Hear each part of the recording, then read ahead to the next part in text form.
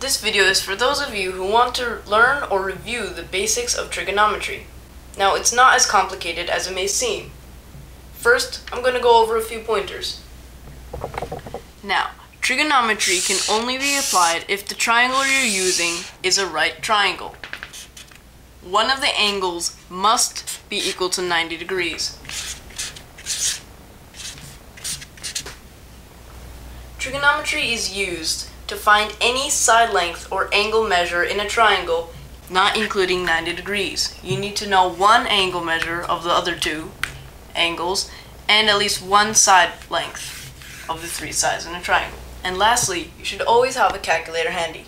Dividing numbers is annoying and trigonometry has huge decimal numbers, so save yourself the brain work and use your fingers. So first, we need to understand the terms used in trigonometry. There are three types of sides in relation to the angle you are using.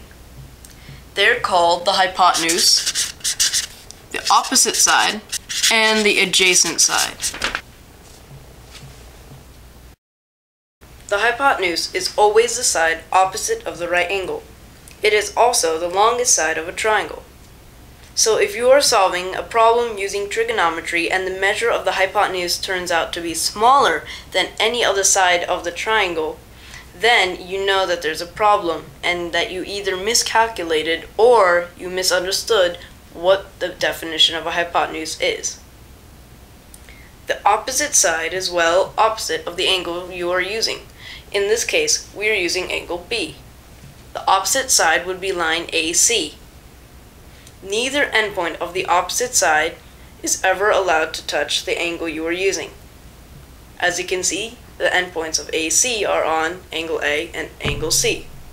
The adjacent side is the side next to the angle you are using and connects it to the right angle. So the adjacent side would be line CB. The endpoints of line CB are on angle C and angle B, therefore connecting the angle you are using with the right angle. So, to sum it up, line AB would be the hypotenuse because it is the side opposite of the right angle. Line AC would be the opposite side because it is the side opposite of the angle you are using and both endpoints don't touch the angle you're using. And line CB is adjacent side because it connects the angle you're using with the right angle. Now, there are three mathematical terms that are related to these three sides. Sine, cosine, and tangent. Confused? I'll explain in the next part. In a triangle, if you know two angle measures, one of which must be 90 degrees, then the third is fixed because all angle measures in a triangle add up to 180 degrees. If you know one side length, then the others can be determined by using the following ratios. The sine function is defined by the ratio between the opposite side and the hypotenuse. The cosine function is defined by the ratio between the adjacent side and the hypotenuse. The tangent function is defined by the ratio between the opposite side and the adjacent side. This means if you know the measure of one side, you can use these ratios to find the length of any other side in the triangle. For example, if you know the measure of the hypotenuse, you can find out the measure of the opposite side using this function or the measure of the adjacent side using this function. Or, if you know the measure of the opposite side, you can find out the measure of the hypotenuse using this function or the measure of the adjacent side using this function.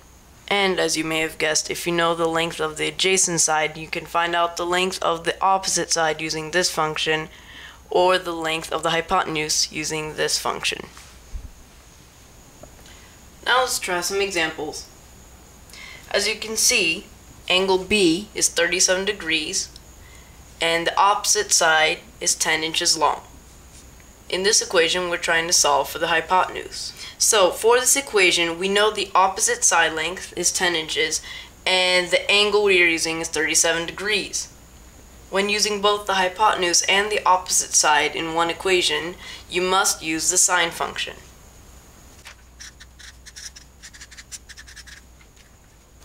So, let's fill in what we already know. We know the angle measure is 37 degrees. And we know the opposite side is 10 inches long.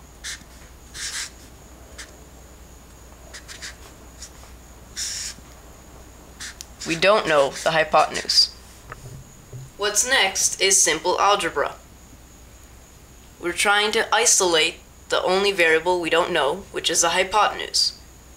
So, once you multiply each side by the hypotenuse, then divide each side by sine 37, what you get in the end is hypotenuse is equal to 10 inches over sine 37.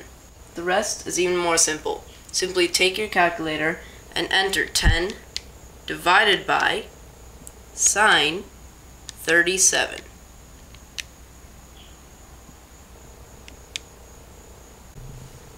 The answer is 16.6.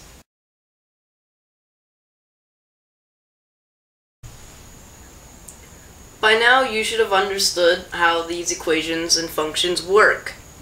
But I'll just give you one last example using the tangent function this time.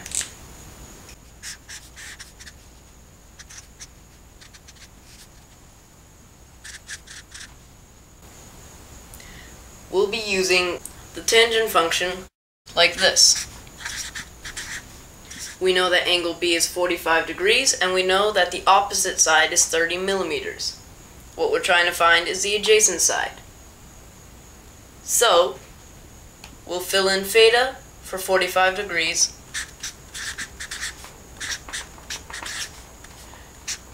And the opposite for 30.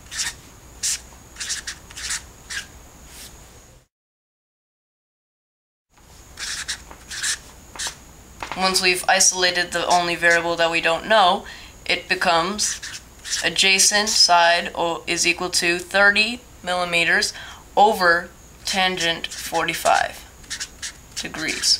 Once again, we bring our calculator and we type in 30 divided by tangent 45.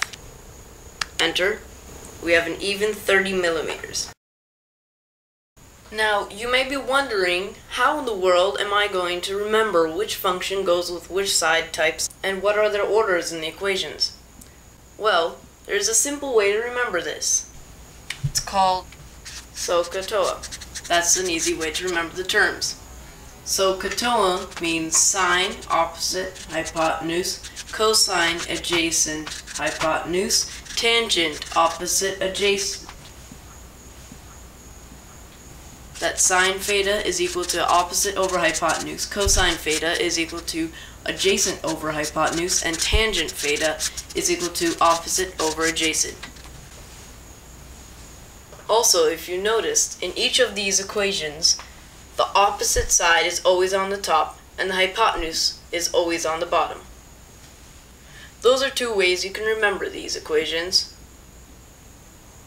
And that's trigonometry. If you've understood everything that I've covered in this video, great for you. And if you're still confused, well, all you need is a bit of practice, and then you'll get it.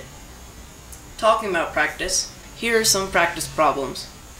I'm going to give three practice problems, and when you see the word pause on the screen, you can pause the video and try to solve the equations. You'll need a scientific calculator, and if you're too lazy to get one, you can visit this website.